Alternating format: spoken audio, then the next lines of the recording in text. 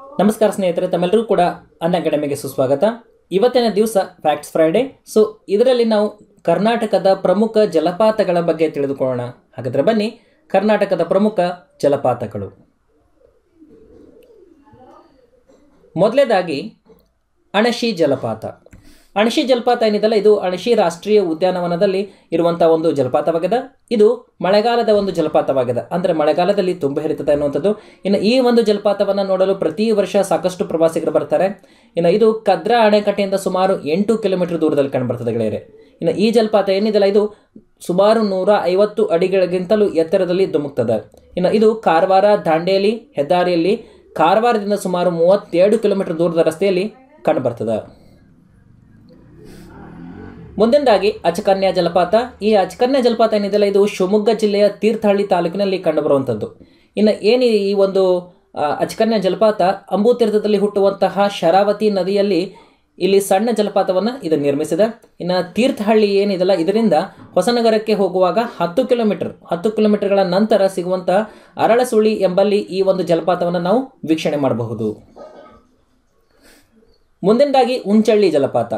ಈ ಉಂಚಳಿ ಜಲಪಾತ ಅಥವಾ ಇದಕ್ಕೆ ಲುಷಿಂಗ್ಟನ್ ಜಲಪಾತ ಅಂತಲೂ ಕೂಡ ಕರೀತಾರೆ.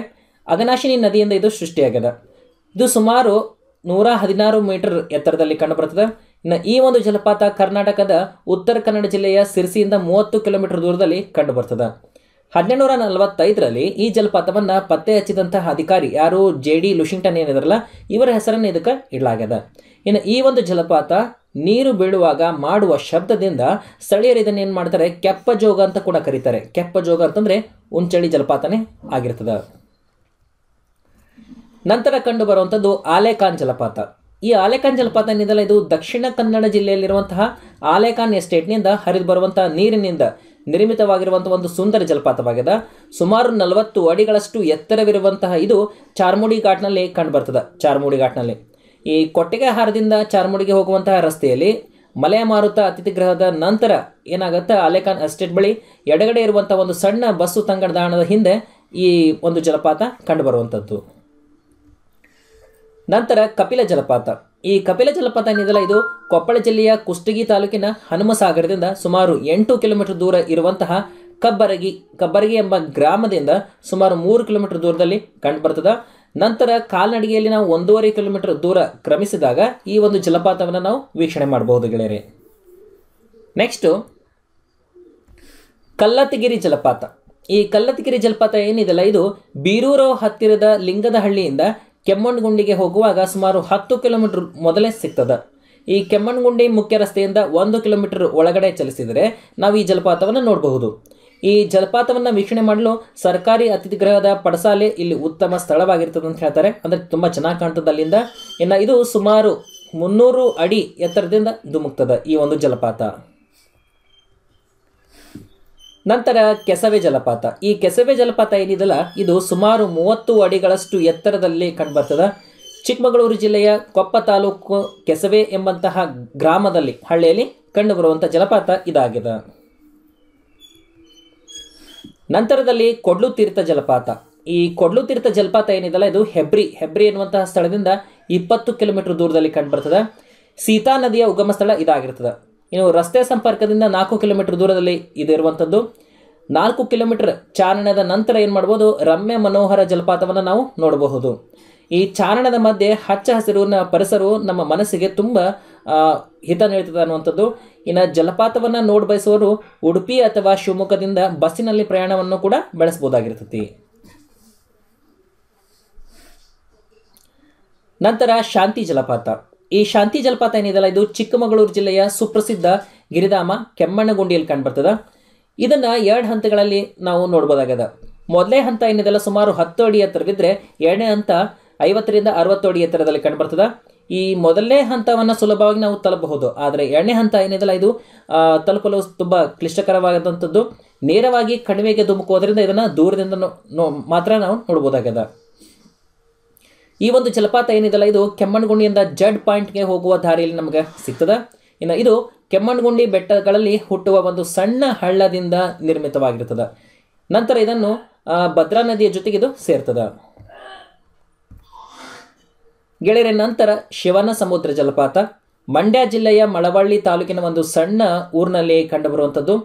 ಈ ಕಾವೇರಿ ನದಿಯ ದಂಡೆಯಲ್ಲಿ ಇರುವಂತಹ ಈ ಊರಿನ ಬಳಿ ನದಿ ಏನಾಗುತ್ತೆ ಎರಡು ಕವಲಗಳಾಗಿ ಗಗನಚುಕ್ಕಿ ಮತ್ತು ಬರಚುಕ್ಕಿ ಎಂಬ ಜಲಪಾತಗಳನ್ನು ಸೃಷ್ಟಿ ಮಾಡ್ತದೆ.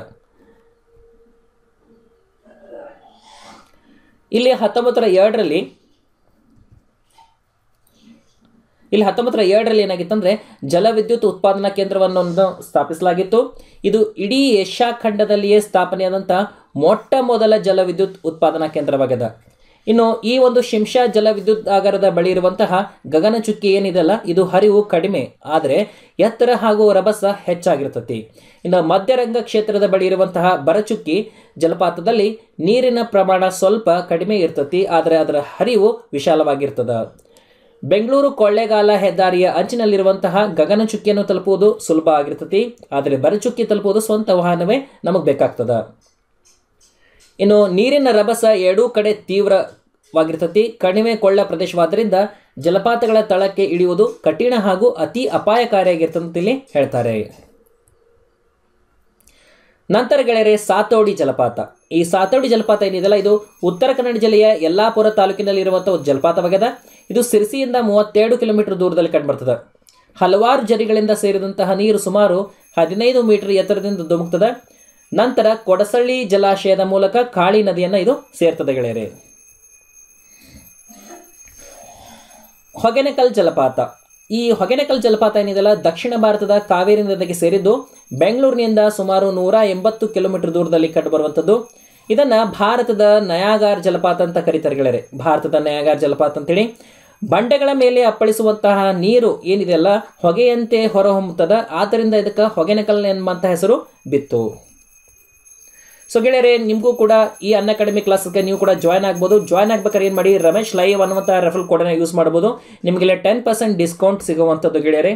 ಸೊ ಇಲ್ಲಿ ನೀವು ಟಾಪ್ ಎಜುಕೇಟರ್ಸ್ಗಳಿಂದ ಮಾಹಿತಿನೇ ಪಡಿತೀರಿ. ನೋಡಬಹುದು ಟಾಪ್ ಎಜುಕೇಟರ್ಸ್ಗಳಿಂದ ಜೊತೆಗೆ ಕೆ ಎಸ್ಗೆ ಸಂಬಂಧಿಸಿದಂಥ ಟೆಸ್ಟ್ಗಳನ್ನು ಕೂಡ ನೀವು Sunday five to seven P ಎಮ್ಗೆ attend ಆಗ್ಬೋದಾಗಿರ್ತದೆ. ಜೊತೆಗೆ ಅದರ ಡಿಸ್ಕಷನ್ ವಿಡಿಯೋ ಕೂಡ ಪಡಿತೀರಿ. ಅನ್ ಅಕಾಡೆಮಿಗೆ ಜಾಯ್ನ್ ಆಗೋದ್ರಿಂದ ನೀವು ಎಲ್ಲೂ ಕೋಚಿಂಗ್ ಹೋಗೋ ಅವಶ್ಯಕತೆ ಇಲ್ಲ. ಮನೆಯಲ್ಲೇ ಎತ್ಕೊಂಡು ಕೋಚಿಂಗನ್ನು ಪಡಿಬೋದು. ಪರ್ ಡೇ ನಿಮ್ಗೆ ಏಯ್ಟೀನ್ ರುಪೀಸ್ ಬೀಳುವಂಥದ್ದು. ಲೈವ್ ಡೌಟ್ ಕ್ಲಿಯರ್ ಸೆಷನ್ ಇರ್ತದೆ. ಸ್ಟ್ರಕ್ಚರ್ ವೈಸ್ ಫೀಸ್ ಇರ್ತದೆ. E M I payment option ಕೂಡ ಲಭ್ಯವಿರ್ತದೆ ಗೆಳೆಯರೆ. ಇನ್ನು ಏನೇ ಡೌಟ್ಸ್ಗಳಿದ್ರೂ ಕೂಡ ನಮ್ಮ ಎಜುಕೇಟರ್ಸ್ ಲೈವ್ ಆಗಿ ಅದನ್ನು ಕ್ಲಿಯರ್ ಮಾಡ್ತಾರೆ ಅಂತಕ್ಕಂಥದ್ದು. ಇನ್ನು ನನ್ನ ಒಂದು ಸ್ಪೆಷಲ್ ಕ್ಲಾಸ್ಗಳು ಐದು ಮೂವತ್ತಕ್ಕಿರ್ತದೆ. ಆಲ್ಟರ್ನೇಟ್ ಡೇಸಲ್ಲಿ ಐದು ಮೂವತ್ತಕ್ಕೆ ಸಿಗುವಂಥದ್ದು. ಇನ್ನು ನನ್ನ ಅಕಾಡೆಮಿ ಕ್ಲಾಸಸ್ ಏನಿದೆಲ್ಲ ಸೆವೆನ್ ಪಿ ಎಂ ನಾನು attend ತೆಗೆದುಕೊಳ್ತಿರ್ತೀನಿ. Seven to eight P M ಸರಿನಾ? ನೀವು ಜಾಯ್ನ್ ಆಗ್ಬೋದು.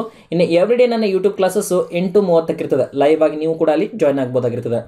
ಸೊ ಕೆ ಎಸ್ಗೆ ಸಂಬಂಧಿಸಿದಂತೆ ಟೆಸ್ಟ್ ಸೀರೀಸ್ ಕೂಡ ನಮ್ಮ ಯೂಟ್ಯೂಬ್ ಚಾನಲಲ್ಲಿ ನೀಡ್ತಾ ಇದ್ದೀವಿ. ಅದು, ಅದರ ಉಪಯೋಗವನ್ನು ಪಡ್ಕೊಳ್ಳಿ. ಇನ್ನು ನೀವೇನಾದರೂ ಕೂಡ ಅನ್ ಅಕಾಡೆಮಿಗೆ ಜಾಯ್ನ್ ಆಗಬೇಕು ಅಂತಿದ್ರೆ ಕೆಳಗಡೆ ಈ ಒಂದು ವಿಡಿಯೋದ ಡಿಸ್ಕ್ರಿಪ್ಷನಲ್ಲಿ ಲಿಂಕನ್ನು ನೀಡಲಾಗಿದೆ. ಈ ಲಿಂಕನ್ನು ಉಪಯೋಗಿಸಿ ನಿಮಗೆ ಟೆನ್ ಪರ್ಸೆಂಟ್ ಡಿಸ್ಕೌಂಟ್ಸ್ ಕೂಡ ಸಿಗುತ್ತೆ ಗೆಳೆಯರೆ. ಇನ್ನು ಇಲ್ಲ ಅಂತಂದರೆ ಅನ್ ಅಕಾಡೆಮಿ ಲರ್ನಿಂಗ್ ಆ್ಯಪನ್ನು ಡೌನ್ಲೋಡ್ ಮಾಡ್ಕೊಳ್ಳಿ. ಈ ಥರ ಪೇಜ್ ಓಪನ್ ಆಗುತ್ತಾ ಗೆಟ್ ಸಬ್ಸ್ಕ್ರಿಪ್ಷನ್ ನೋಡಿರಿ.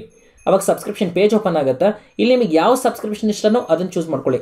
One month three month six month or one year choose ಮಾಡ್ಕೊಂಡು ಕಂಟಿನ್ಯೂ ಬಟನ್ ಓದ್ಕೊಳ್ಳಿ ಆವಾಗ ಎಂಟರ್ ರೆಫರಲ್ ಕೋಡ್ ಕೇಳುತ್ತಲ್ಲ ಇಲ್ಲಿ ಏನು ಮಾಡಿ ರಮೇಶ್ ಲೈವ್ ಅಂತ ಹಾಕೊಳ್ಳಿ. R M E S H L I V ಅಂತ ಹಾಕ್ಕೊಂಡು ಅಪ್ಲೈ ಬಟನ್ ಪ್ರೆಸ್ ಮಾಡಿ. ಅವಾಗ ಏನಾಗುತ್ತೆ? ಈ ಥರ ಪೇಜ್ ಓಪನ್ ಆಗುತ್ತೆ. ಇಲ್ಲಿ ನಿಮಗೆ ಟೆನ್ ಪರ್ಸೆಂಟ್ ಡಿಸ್ಕೌಂಟ್ ಸಿಗುವಂಥದ್ದು. ನಂತರ ಪ್ರೊಸೀಡ್ ಟು ಪೇಮೆಂಟ್ ಅನ್ನುವಂಥ ಬಟನ್ನ ಕ್ಲಿಕ್ ಮಾಡಿಕೊಂಡು Google pay A T M debit card credit card ಯಾವುದ್ರ ಮೂಲಕನಾದರೂ ಜಾಯ್ನ್ ಆಗ್ಬೋದು.